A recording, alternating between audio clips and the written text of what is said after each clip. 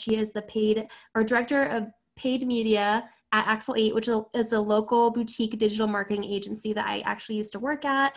So she is a freaking pro, you guys, when it comes to running any sort of um, paid advertising on social media. Mainly today, what we're going to be talking about is Facebook and Instagram. So thank you so much for coming. Um, please, as we go through, um, you know, put questions in the chat and we will be monitoring that and getting those over to Rachel. And then after she's done presenting as well, we're going to open it up and we can discuss. Um, I know I will have a ton of questions to ask and yeah, so at, uh, before we jump into the actual content with Rachel, we do have a few sponsors that have, you know, partnered with Nova to put this on Landmark Title and also Old Republic home protection. And so I'm going to go ahead and pass the mic over to Wendy and Tara so they can give a little spiel before we jump right in. Sure. Good morning, everyone. We are Old Republic Home Warranty. So uh, thank you all for being on the call.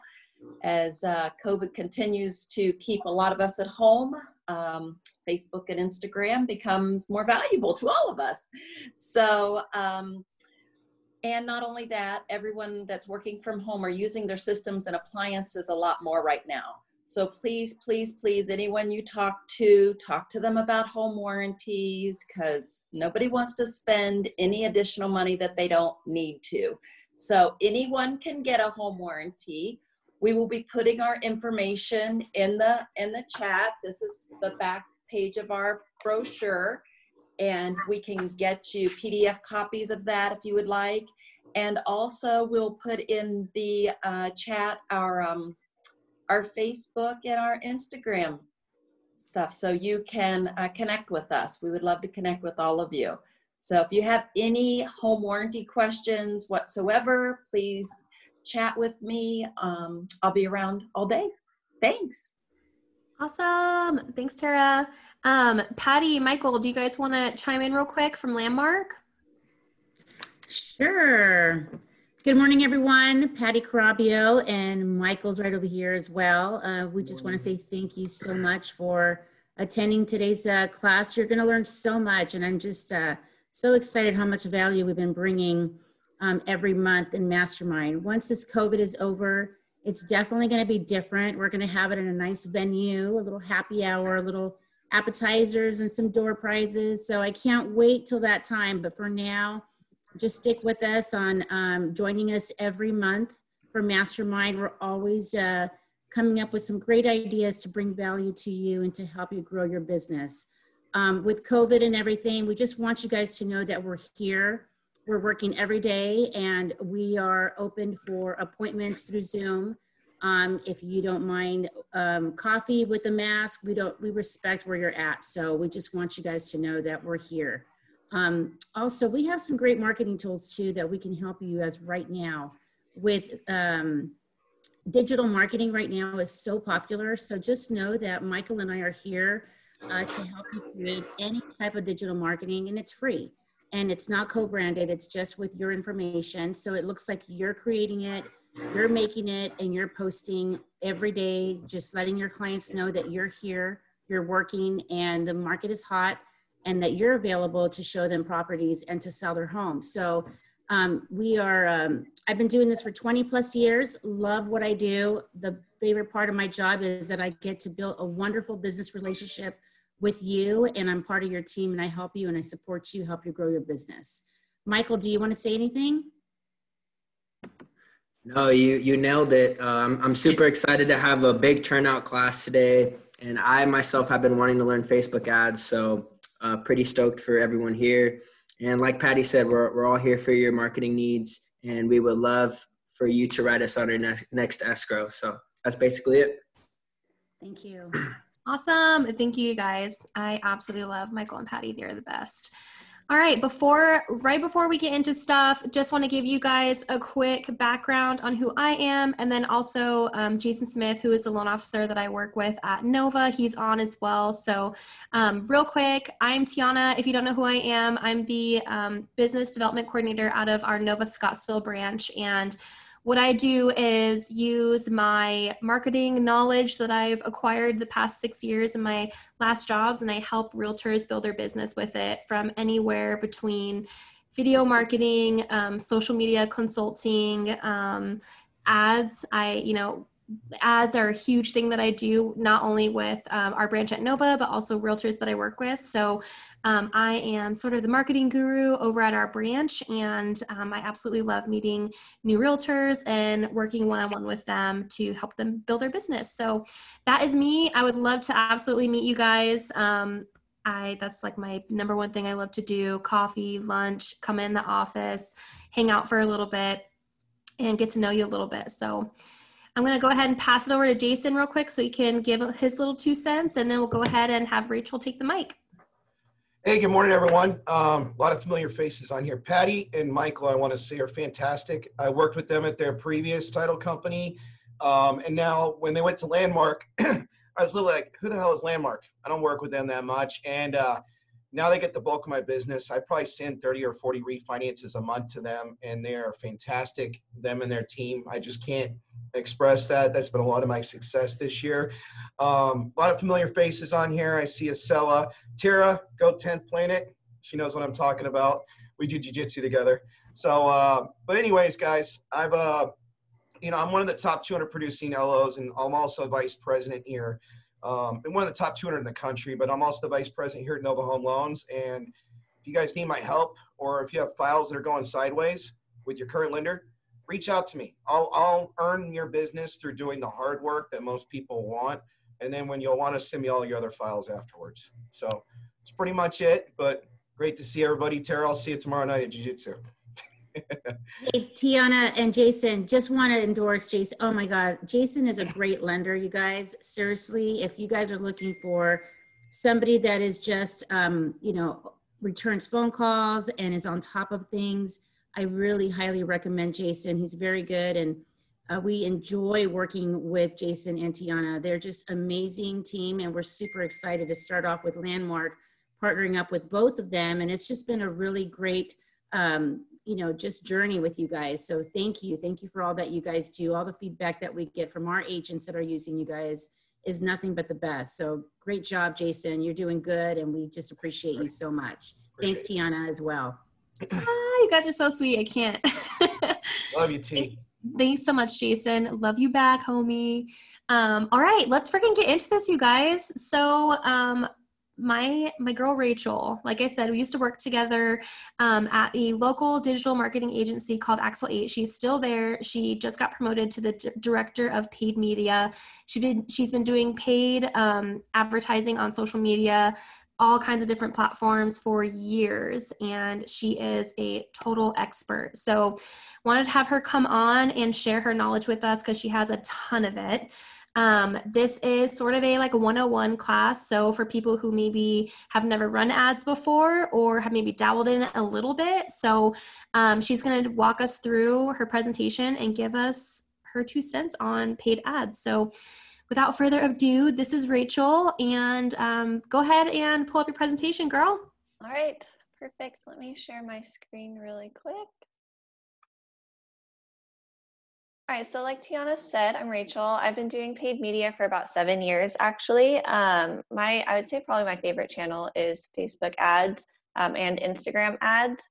So I wanted to kind of tailor this presentation to be more about kind of what you should be thinking about from the strategy side and less of the tactical side. I do have a quick video that I put together um, that Tiana will send after that actually shows the tactical how to.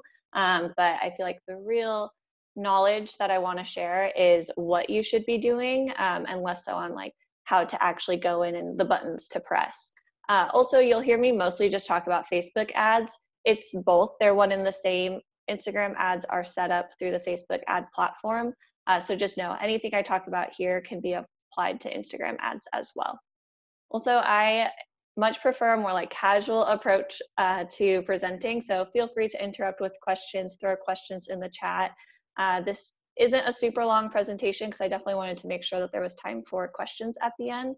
Uh, so feel free to ask any questions that you might have and I'll be happy to answer them. All right, I'm gonna jump right into it.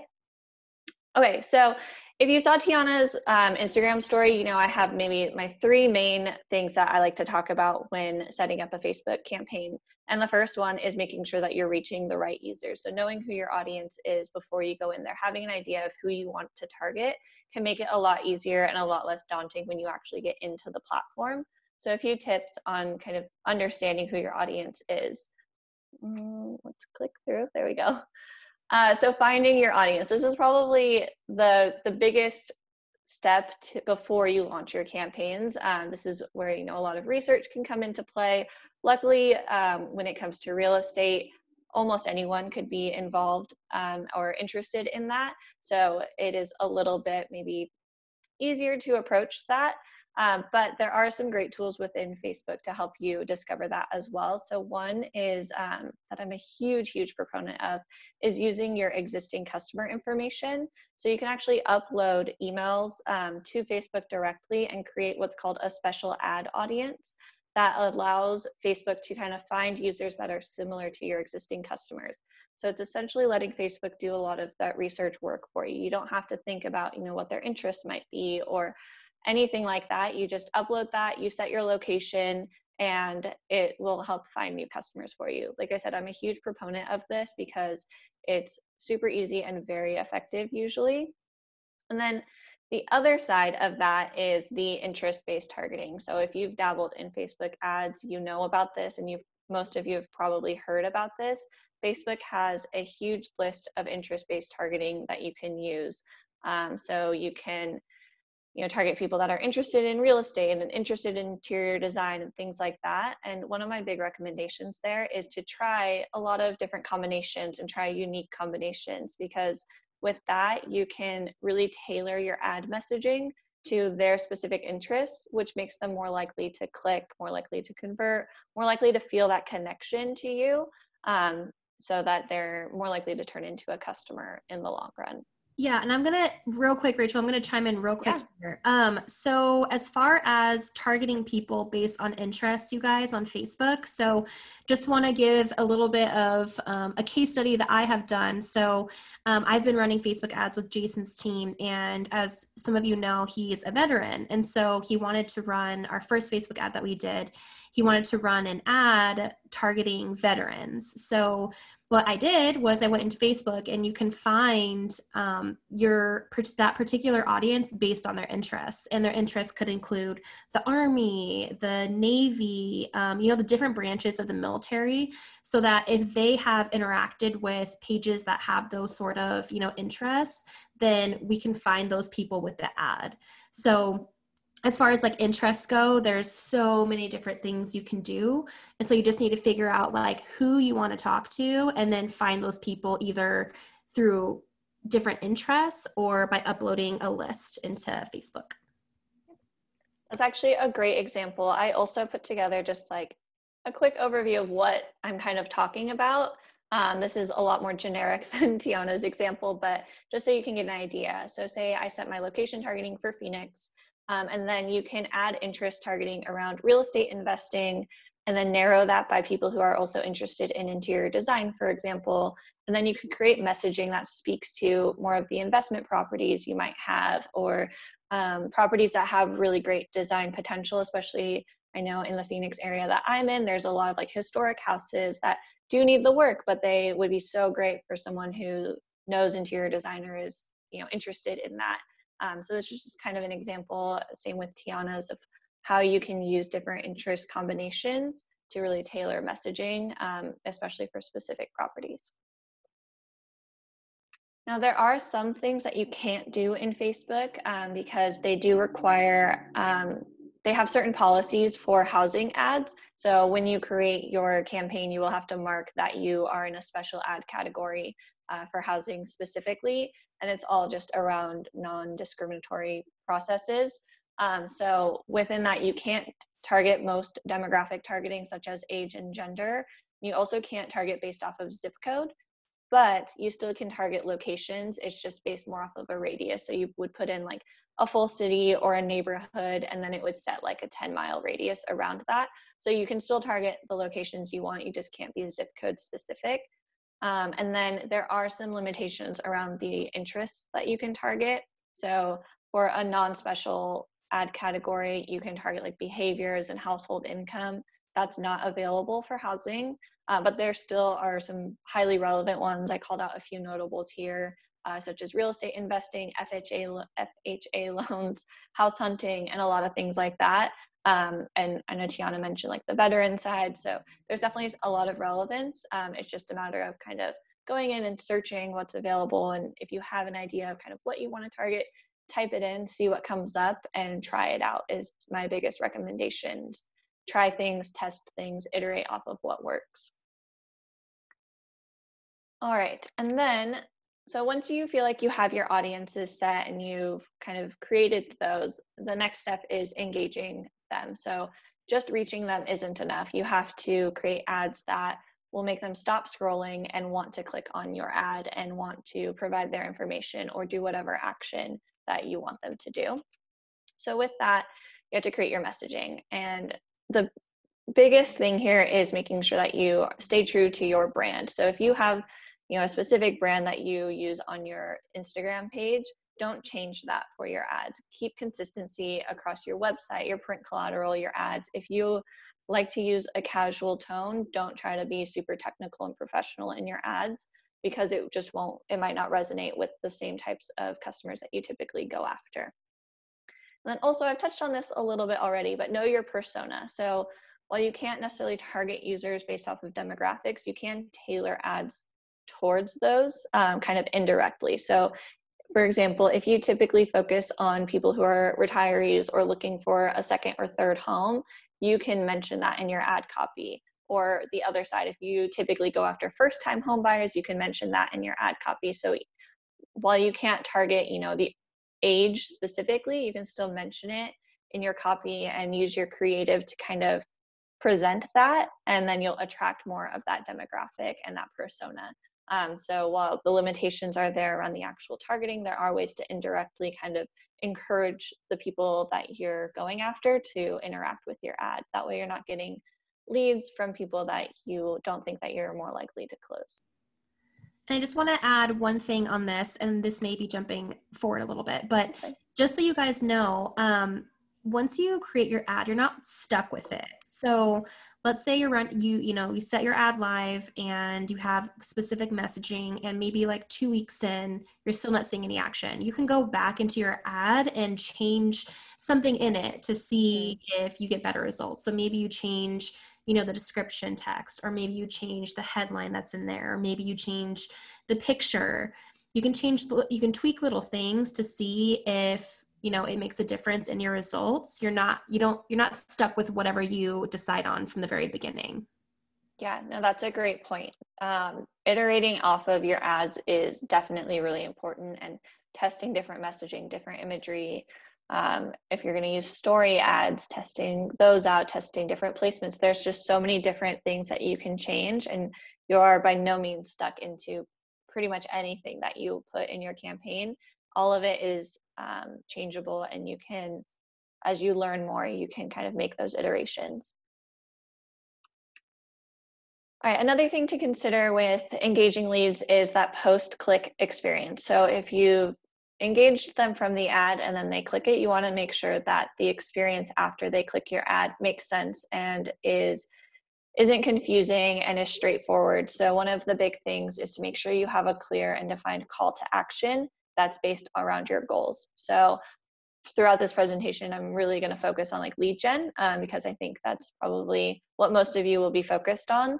Um, but if you're looking to capture users' information, then make sure that your call to action speaks to that. There are some limitations around that in terms of the actual button on the ads. They only have a few options. Um, but after they click, make sure it's clear that that's what you want from them. Um, if you're sending people to your website, make sure there's a form fill that they can fill out. Or if you're using the native lead form, just make sure that you're capturing that information and make sure that the messaging in the ad also speaks to that so you have a consistent path. So don't have an ad that basically calls for their information and asks for their information so you can follow up and then land them on an about us page because that it has a mismatch and that wouldn't make sense and they're more likely to what's called bounce which means they'll click your ad see the page and then immediately leave without actually reading it or performing any action. And then along those same lines you just want to make sure that you're creating a good experience overall. Um, a big tip when it comes to a landing page if that is what you choose to use is to keep the content on the page short, simple, and easy to read. Um, I believe that the industry recommendation is um, like a sixth sixth grade reading level um, because you want to make sure it's very very easy to digest. Uh, you also just want to make it look nice. You want to make sure you're considering the mobile side of things and the desktop side of things. Um, make sure that the imagery is clear and you know easy to read, not blurry, not too big not too much text. There's just kind of think about what you interact with most and what you enjoy seeing if you click on an ad and just kind of try to duplicate that. Um, because I think the biggest mistake that can be made here is overthinking it and trying to add too much information. Uh, so just keep it simple um, and make sure that it's just clear with exactly what you want them to do on the page.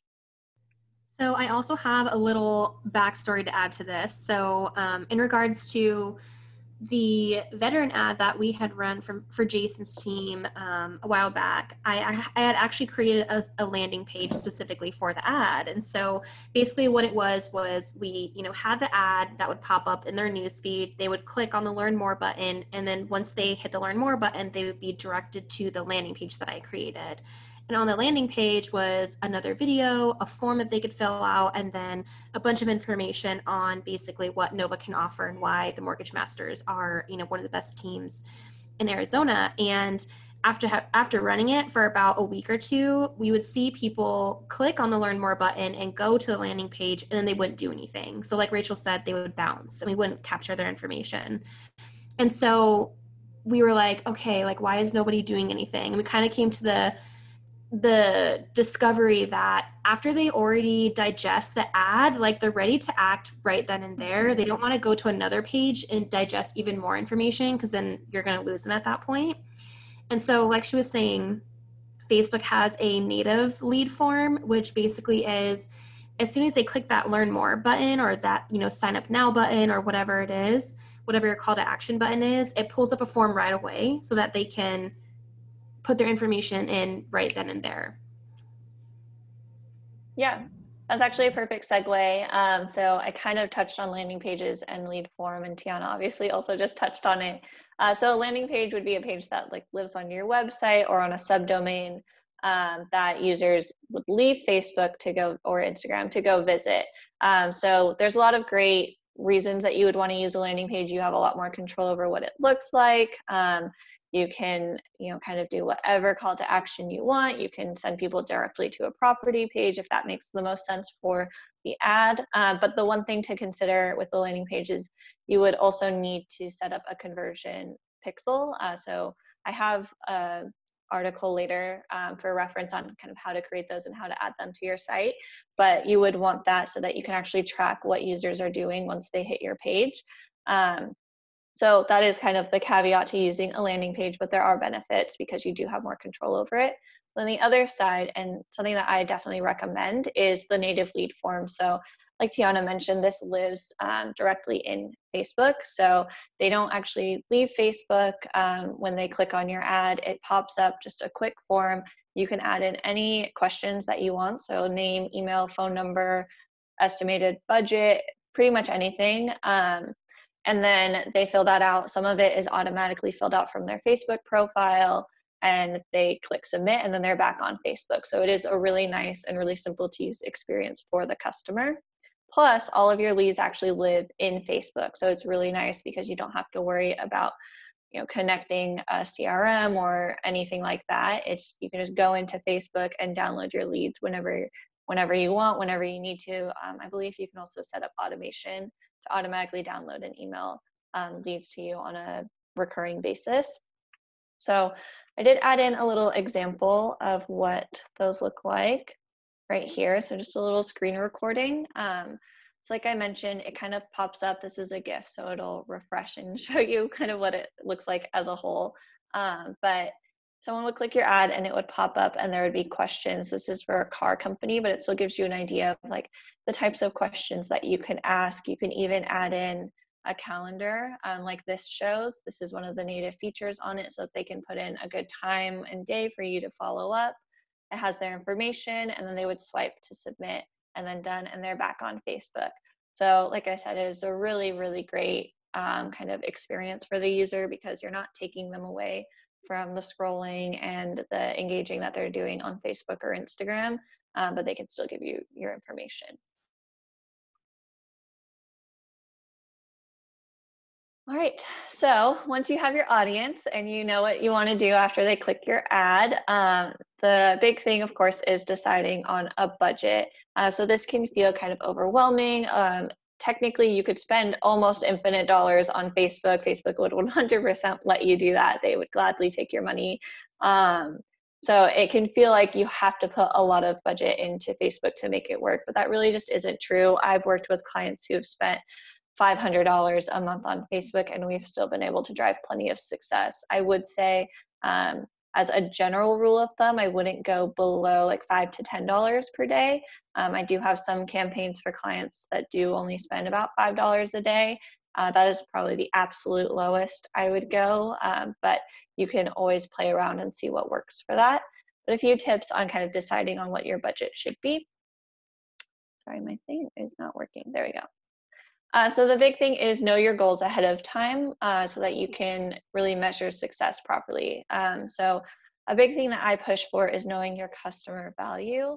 Uh, because if you don't understand the value of an end customer, then you really won't know if the amount you're spending is profitable, if it makes sense. Um, you won't know if you know a specific audience is working. Should you spend more? Should you spend less? You just it's really important to kind of know what that end value is for a customer, uh, so that you kind of can work backwards from there. Which is my second tip is working backwards. So if you know that you want to get a certain number of new customers a month and you kind of know how many leads you typically close, um, you can kind of use that to work backwards and set goals for your campaign so that you can measure that. So I did put together a little example of what that might look like with just some pretty much made up numbers. Um, so assuming that an average customer value is about $5,000, and you want to get about two new customers a month and you typically convert about 2% of leads that would mean that you need about 100 leads in that month to reach that new customer goal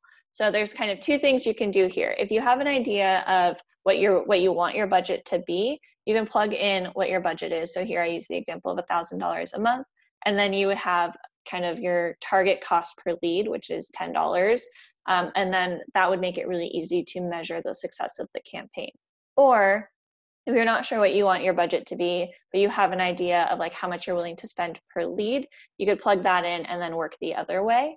Uh, so this is just kind of a really good way of thinking about where you want your budget. But again, nothing is set in stone. And that's probably one of the biggest takeaways. If you take nothing else away from today, just know that nothing is set in stone and iterating off of what is working eh, and what isn't working is really important. If you are spending $20 a day and you don't feel like you're getting the leads from that and you want to lower it, do that and see what happens and then iterate. If it works, continue doing it. If it doesn't, change it again. Um, don't feel like anything you do has to stay on for too long, which I actually think is what I mentioned next. Um, so I'm actually going to skip to the bottom one because it ties in nicely. Don't waste your time if it's not working. Um, there is definitely ramp up time for things. It does take time for a campaign to really start serving and for you to start understanding how it's performing. But I would say that's no more than two weeks. After two weeks, if you're seeing if you're not seeing good performance, then you can shift your focus. Whether you're seeing a low click through rate, then maybe you need to look at your ads and change your ads out. If you're seeing a high click through rate and no conversions, then maybe your post click experience needs to change, similar to what Tiana was saying with the veterans landing page. Um, and if you're just feel like you're seeing nothing, then you might need to look at your audiences and maybe change those around. Um, there's just a lot of different iterations that you can make. Um, and that's why it's really important to not not don't try to make something work if it's not working just change it and continue changing until you find what works best And also i think it's really important to track your lead quality so facebook doesn't have they don't know what the quality of these leads are they just know that they're coming in so one thing that can happen is you can start getting a bunch of leads from one audience but they could be low quality and maybe you're not converting any of them um, but Facebook might start favoring that audience because they're seeing all these leads come in. So sometimes you have to go in and kind of tell Facebook in a way that, like, hey, this isn't great, whether that's changing up the audience or lowering the budget to it, um, because Facebook will start to favor um, audiences or ad sets that bring in high volume of leads. Um, and I've definitely experienced in the past where the lead quality isn't right. It's just not quite right, and Facebook is favoring it more and more, so it's kind of exacerbating the issue. Um, so by tracking lead quality, you can kind of help prevent that, and then also you know what is working. So if you're seeing that the leads from a different audience convert at a way higher rate than typical, then you can put more budget towards that, and you can open up that audience maybe and add more ads and try new things in that one. So it is really important to understand how those leads look and if they're good. Because one thing to note with the um, lead form is because it does autofill on Facebook, there is like a review screen after someone um, submits their information. So they're supposed to look, make sure that their information looks good. Uh, but of course, not everyone makes sure to check that. And because a lot of people signed up for Facebook when they were in college or high school, um, their email address might be a little old. So don't get discouraged if you're seeing email addresses that are old or that bounce back. That is bound to happen um, just because of the nature of the autofill. I would like to add a little something to this. Guys, I can't um, express enough the importance of tracking um, the results of your ads. Um, I can tell you just from our, our latest ad that we're running right now is actually on down payment assistance. And we have gotten an immense amount of leads. Like I would say in the last two weeks, we've had more than 40 leads come in. And so the caveat is like, are these leads going to convert? And so obviously after we're done running the campaign, we're going to be working these leads and seeing, you know, what happens with them. And so I would highly encourage you guys to do the same thing. So keep track, you know, have a spreadsheet of all the people that came in through your ad, have the, you know, the actual look like whatever ad you ran so you know exactly what you sent to them all the leads you got from them and then keep track of them like see which ones converted over the last few months and then kind of go from there yeah that's great and i know that uh, a, a sales cycle can be kind of long so in maybe that first month you're getting leads and you're not sure what the quality is until a month or 90 days later um, so just keeping track of that and going back and iterating off of that. Um, typically, what we say is like the two week to one month range is when you want to just make sure that you're bringing in leads. And then from there is when you start looking at the lead quality and changing if you're seeing quality issues. All right, so I have a few tips on building your first campaign, just things that I personally um, like to set up uh, just from my experience. Um, it's not going to get super in the weeds. Like I said, I did I did make a video uh, that Tiana will share after that actually shows the step-by-step process of actually creating your campaign. Um, but I wanted to provide just a couple tips that I have. So the first one is the objective. So this is one of the first things you'll see when you create your campaign. It'll ask you to choose a campaign objective. So make sure that you're choosing one that matches your goals. Um, so if you are using the lead gen form, so the native lead form, make sure you select lead generation. Um, this is the only one that will work with the form. And then if you're sending people to a landing page um, where you want to uh, convert them, then you would select conversions. And this one would require a conversion event through the Facebook pixel. And then one thing I also wanted to touch on is if you're just trying to raise awareness and just want to get your name and face and company out there, I would actually avoid this section around awareness um, because the brand awareness and the reach um, objectives focus a lot on impressions and just the number of eyeballs that you're getting on your ads. And while that can be a good thing, um, sometimes impressions aren't as valuable as Facebook tries to make them seem. So I would actually recommend either using traffic or engagement. So traffic will measure and focus on how many people are actually clicking your ad and going to your website. And then engagement would focus on how many people are commenting, sharing, reacting, um, things like that.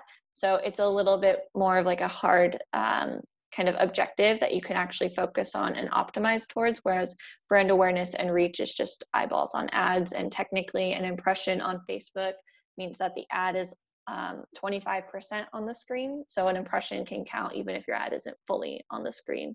Um, so that's why I tend to avoid those. Next one, um, I recommend starting out at least with campaign budget optimization. So this allows Facebook to kind of decide where your budget goes between your different ad sets, which is how your audiences should be broken up. Um, I like starting with this. Sometimes I will move away from it depending on kind of what I'm seeing. Uh, so a big thing that can happen is if you're seeing an audience provide um, low quality leads and Facebook is really favoring that, then I would recommend switching this off and adjusting the budgets at the ad set level. Um, but it is best to start with this so that you can kind of get a jump start and let Facebook sort of decide. I also recommend using daily budgets. Um, Facebook also offers lifetime budgets. I only recommend lifetime budgets if you're running like a special. So, like someone running like a Black Friday deal that is planning on running their campaign for only eight days, then a lifetime budget makes sense. Um, but if you're kind of running it ongoing, then I definitely recommend a daily budget and then just setting it for whatever it breaks out to at the month. Hey, Rachel, we had a question that came in. Yeah. Um, they said, would traffic and engagement be where you would put an ad for a listing? Um, yeah, so I think that would probably make the most sense. I would probably recommend traffic. Um, that way you're getting more eyes on the actual listing page. Uh, depending on what the page is like, um, you might be able to use conversions, but remember you'd have to just have an actual action that they can take. So maybe you have a listing and then at the bottom you have like a little form fill for them to provide their information because they're interested in that listing. Um, you could use conversions, but I think traffic would probably be great if you're just trying to get more eyes on it. Sweet, thank you. Yep. All right, um, and then it, when you're setting up your campaign, you have the option to select where your ads are showing across Facebook's whole um, kind of marketplace, which is a bad word because marketplace is a real thing, but um, across all their different placements. Um, so I typically recommend excluding Messenger and marketplace placements. So Messenger, I've just seen not perform as well. Um, I've also read a lot of articles about kind of how people feel about ads in Messenger, and they feel like they're intrusive um, because it's kind of private. Uh, so in that sense, I recommend it because you don't want to be, you know, annoying or feel intrusive to these people. And then marketplace, because you're not promoting a product, it can be kind of difficult. I know people put like rentals and things in marketplace, like apartments for rent, um, but it can be kind of harder to compete in that area as well. Um, so I would recommend sticking to feed stories, and then um, an article is great. So this is like if you're on if you click into buzzfeed you'll see ads within that um, and those ads are actually through facebook uh, so those are great and then in stream is just uh, video ads uh, but it can also show static image ads as well so really just excluding messenger and marketplace and then other than that you should be good so when you're creating your audience, there'll be kind of this little dial on the side that'll show you the estimated audience size and kind of your audience definition. I recommend always aiming for uh, in the green. Um, so anything lower might not serve because it's too specific. Anything higher might be a little too broad. It's not a huge deal if you're on this side, if you put in your audience and you really, really want to try it out and it's over here, I wouldn't say don't do it. Um, but just a general rule of thumb is kind of aim for this defined audience section. Um, and then also, I've touched on this, but make sure you're segmenting your audiences by similarities so that you can tailor the ad messaging um, to what their interests are. So don't inc- don't put veterans and interior design interests together uh, because they wouldn't interact with the same type of ad. And then when you're creating your ads, there'll be um, this kind of little widget on the side that will let you look at all ad previews um, across all different placements. Um, so this is really important to check just to make sure that the image that you're using doesn't get cut off if you have, you know, like text overlay on it. Um, just make sure that it kind of reads the way you want it to read. I definitely recommend just quickly going through and checking uh, to make sure that you like the way your ad looks across all placements. And then I also recommend launching with at least three ads per ad set. Uh, you can definitely do more. I'd say maybe three to six is the is the sweet spot. Um, this just allows Facebook's algorithm to work a little bit better for you. Um, if you only do one ad, you can't you know compare different messaging and different creative. Uh, so three is a great place to start. Hey, Rach, real quick, can Yeah. you? Yeah, I was ju- I was just gonna say the same thing, Debbie. Um, can you ex- can you explain what an ad set is and what it means to upload three different ads per ad set? Yeah, absolutely. So the general structure for a Facebook campaign is kind of threefold. So there's the campaign level, and that's like where you set your budget. And then there's the ad sets, and that's where you create your audiences.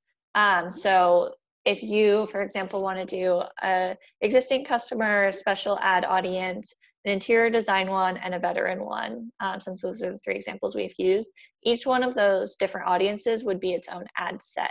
And then within each ad set, you would want at least three ads. So for the veteran one, you would want three ads that speak to veterans. And then for the interior design one, three ads that speak to interior designers.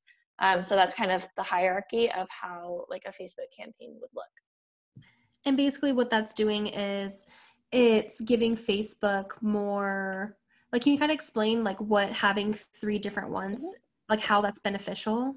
Yeah, so Facebook uses this super secret, basically, algorithm um, to decide which user is most likely to interact with which ad. So if you have three ads, since the users within each audience, while they have similarities, they have different behaviors. So if you have three ads that are varied in their messaging and they're creative, uh, still within the same interests, Facebook will say for user one, they're most likely to click on ad two, but for user five, they're mo- most likely to click on ad one. So I'm going to serve those ads to those users. So if you only have one ad, Facebook can't do that for you. Um, so everybody's just getting the same ad, and Facebook can't kind of help to determine which messaging makes the most sense for which user. Does that help answer that? Yes, and we had a few more questions come up. Mhm. Um, one is, does it cost more to run with the three different ads per ad set? No, so your budget is set entirely at the campaign level. You can put technically as many ads as you want. There's, I think, a limit of like 250, but that would be ridiculous. Um, but you don't pay more for ads. Um, you pay, it's on a cost per thousand impression technically. So you're paying every time uh, someone sees your ad. But if you have 10 ads in there, you're paying the same amount as if you have three. Mhm. Gotcha. We got one more. Just to clarify, you're recommending one set example towards veterans of three ads, not three different ad sets, each with three ads for a total of nine ads. So actually, the second one is correct. Um, so you would have nine ads total, so three ads per ad set. Um, it is possible that some of those ads are the same across ad sets. So something that I typically do is I'll have like one evergreen, I call it, or generic ad that's you know very brand focused and still has that call to action. Um, that can be used across any audience and isn't necessarily interest specific. And then I'll have you know one or two uh, more specific to the audience. So it's call it like seven to nine ads if you were to have three ad sets, but each ad set would have three ads. I have a quick question for you guys. Um, I'm Caitlin. Um, I just thought about this on the fly, so sorry I didn't type it out. Um, when when a client or a customer works with either you, Tiana, or with Axel 8, um, is the expectation that the client, like if it's their first time ever doing something like this, is the expectation that you like the customer either drafts up content or language that they would like to be called out and you guys and we submit it to either of you and you guys refine it to help us if someone is an expert in doing these type of ads. In terms of like i know facebook you can't say you and you can't use specific words. So like um, or are you heavily relying on your client customer to draft up the perfect sets of content for all your ads and your ad sets? So for what we do at Axelate, um, we write all of our ad copy for our clients. We'll take if they have like a brand guide or something like that, or if they have specific language that they want to make sure is included, we'll try to include that. But I want to touch on something that is actually important that you called out. Um, Facebook does have ad policies around calling out like specific features essentially. So kind of the way that people think about it is how you said it, um, Caitlin, is you can't really say you. Um, so you can't say things like, are you, you know, 25 and looking for a house? Like you can't do that. Um, so you have to do, you do have to keep it a little bit more um, generic.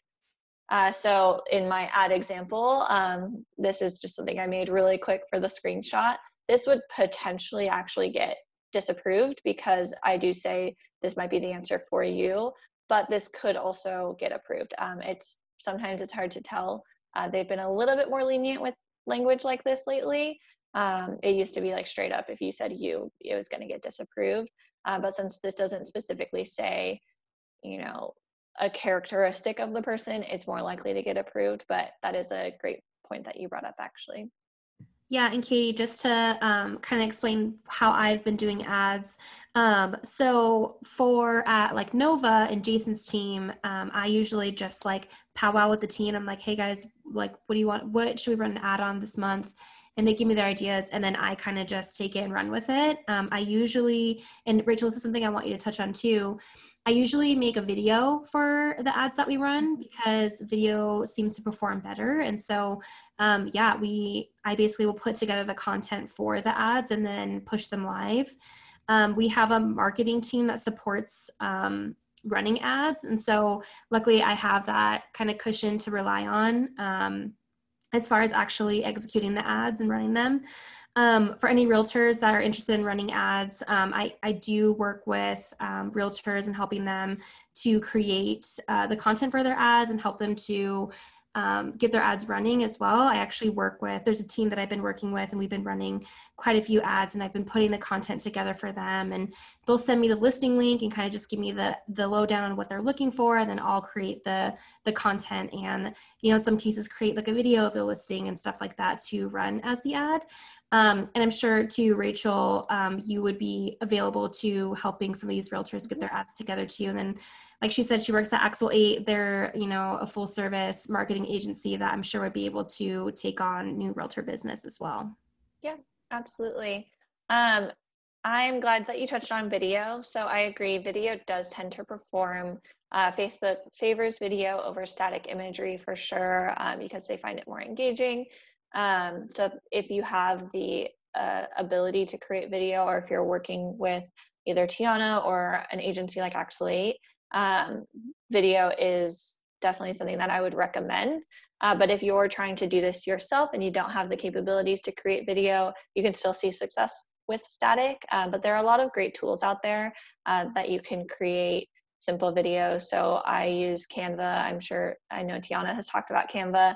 Um, you can create very, very simple animated basically you add a static image and you add an animated text overlay and facebook sees that as a video so you don't have to create you know like a big commercial production thing um, just something that has some movement facebook will favor in the same way uh, so there's a lot of really approachable ways of getting to video or even gif works well Hey, Katie, real quick, did that answer your question? Yes, it did. Um, I I definitely have worked with um, you know like a Axelate type of company before, and sometimes like depending on the scope of work, like it's always um, hard to clarify like at what point do do like the do either you or the ad agency jump in to help clarify on the language and the ones that I've worked with, it's almost like I end up doing almost the entire copy or the contents. I was like curious how other people operate or if that's just like a one off because, you know, as everyone knows, like the ads itself are expensive. The time it takes mm-hmm. to put the content and copy is lots of time. So, mm-hmm. You know, for other reasons I've used it, it almost seems like we would rather have like spend the extra money for an ad agency to do like the full service versus yeah. me having to go back and forth with different drafts and versions. So yeah, that that clarifies it a lot. Okay, perfect. Good. And uh, just as like a general tip, if you're working with an agency, they should, if they're full service, they should definitely be creating those ads for you and providing those. Obviously, if you want to provide information to them, they'll gladly take it. But um, a, a typically an agency would at least provide a lot of recommendation and the final product. Um, so if you, if any of you do decide to work with an agency, I just make sure that that's part of your contract with them because that is one of the most time consuming parts of this, um, especially when you get into ad testing. Um, creating iterations can take, it's almost a full-time uh, job potentially, depending on how large the account is. So I would just provide that out there if you do decide to work with an agency. It's definitely important to make sure that they're creating the copy and creative for you. Perfect. Okay, we have another question, Rach, real quick. Yeah. Um, how long does the does the ad run for? Also, when you said Facebook favors ad sets, what does that mean about to my ads? So an ad will run as long as you leave it up. Um, you can set an end date when you create the campaign, uh, but if you're planning on just kind of running it ongoing, I wouldn't suggest doing that. Um, so as long as the ad is active and approved, it will run. And there's no reason for it to stop. And then, um, so Facebook will favor, what I mean by will favor ad sets is um, if they think that the audience that you created in one of the ad sets is most likely to convert, then they will push more budget towards that and provide more impressions to that audience. Um, again, it just goes back to their algorithm, which like I said, is very secret, so I don't know exactly how it works, but I do know that it does. Um, so they will, in that sense, they will favor it. And then on the video side, like I mentioned, they, um, if you have three ads in an ad set and two are video and one is static, you'll likely see a lot more impressions go to the two video ads over the static one because Facebook knows that users engage with video more. Rachel, I have Mhm. one more. question. Can you, does cost per click go towards your budget? Like, can you talk about that? So say like I set my budget to a thousand dollars. Essentially is my cost per click um bit getting split up between the three different ads in one set. So like if one's outperforming the other two, like you said, more budget goes to that one. If if whatever the industry average is, like hopefully we're all hitting that. And maybe you can go into what the real estate industry average is because I know there's different um, industry categories that you fall into. But if my three ads for real estate are going towards industry average, essentially once I have once that one thousand dollars is used up, my campaign ends. Correct? Like it doesn't go on forever. It can't be active forever. You continuously have to put more budget into it. But if I took a month off, it's not live. So if you don't set an end date and if you use daily budget, it would continue running unless you um, like had an outstanding balance, then they would pause your ads. Um, but technically, it could run indefinitely if you set a daily budget instead of a lifetime budget. Uh, and then the cost per click. So typically, you're paying um, on a cost per thousand impression. So the cost per click is essentially calculated based off of how many clicks you're getting. Uh, so one ad set could have a cost per click of a dollar and one could have a cost per click of two dollars. That doesn't necessarily mean that the two dollar cost per click is performing worse because if more of those clicks are converting, then you should be willing to accept kind of the higher cost per click because they're a better quality click. Does that answer your question? Yeah. um, can you explain like is cost per click different than cost per did you say thousand impression? Like is are those two separate like objectives? Yeah, so cost per thousand impression is CPM. Um, so you can see that in there. And um, so that's kind of what you're paying off of in a sense. And when I say that you're paying off of that, it's just um, that's when Facebook chooses to charge you. So like when you launch a campaign, you'll you'll potentially see that you spent maybe like five dollars and you haven't gotten any clicks. That's because you're paying for those impressions. Um, but that doesn't mean that you're only charged once you hit a thousand impressions. Um, Facebook basically calculates. So let's say you hit a 100 impressions and you're charged $5, it would calculate out what your CPM is based off of that. Um, so you're essentially being charged per impression in a way. And then cost per click is completely separate. I typically focus a little bit less on CPM and more on cost per click, click through rate, and actual lead volume. uh, because that is you know where the main KPIs that your main goals lie. Um, so if your CPM feels high but your cost per click feels really strong and you're seeing a really strong click through rate, then I wouldn't worry about your CPM. Uh, so they are separate in that sense, uh, but it all kind of works together uh, to create um, a, either a successful or a non-successful campaign.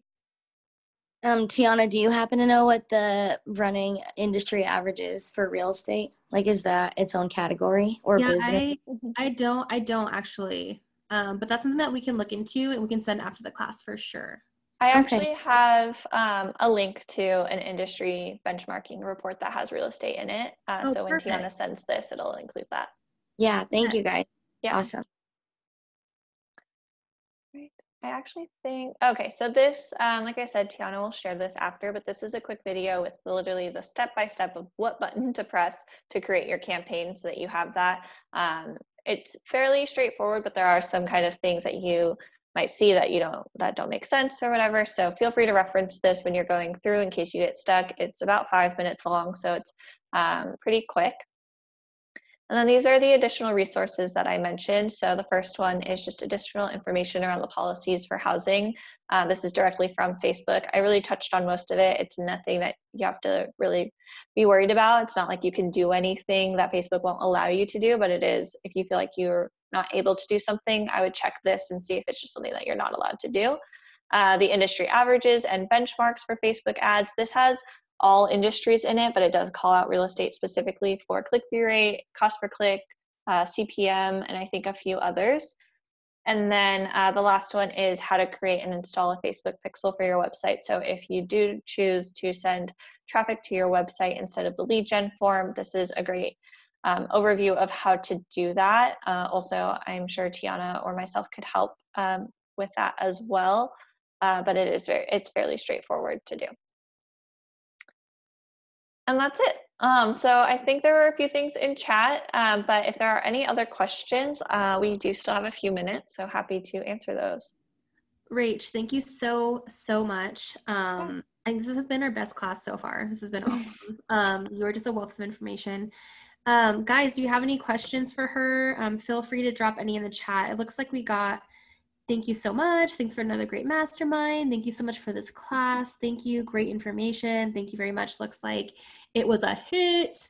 Um, so I do have one question. Um, can you tell us what the difference is between a boosted post and an actual ad? Great question. Yeah, so I personally don't love boosted posts. Um, they they've gotten a little bit better over the years that I've been doing Facebook ads, but essentially, um, if you post something on Instagram or on Facebook and you just want to reach a broader audience, you could boost that post. The nice thing about boosted posts is you don't technically have to like go into the Facebook business manager, Facebook ads manager to do that. And you can just throw a small budget behind it um, and you get a few more eyes on it. Uh, but you have a lot less control over um, like a landing page. If you don't have a, a click through on the post, then you can't add one to the ad. And I don't recommend necessarily promoting ads that don't have some sort of click through. Um, so there's definitely a place for them if you are just trying to get more eyes on a specific post. I do think it's fine to do a quick boosted post. Um, I wouldn't run it for any longer than a week though. Um, and like I said, you can typically get away with a smaller budget for those. Uh, so if you're running it for a week, you could throw like 20 bucks at it uh, just to get more eyes on it. But an actual ad is where you, you know, you're creating the ad, you're setting a landing page and you're targeting the audience. Boosted posts have a little less uh, targeting capabilities, I believe. Um, so I definitely would lean towards creating ads, even if you do have like a, a property you want to promote and you've posted it organically on your Instagram and you want to promote it through ads.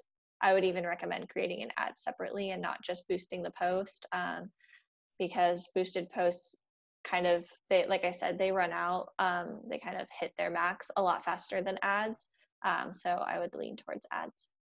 I could not agree more. Okay, so it looks like we have another question.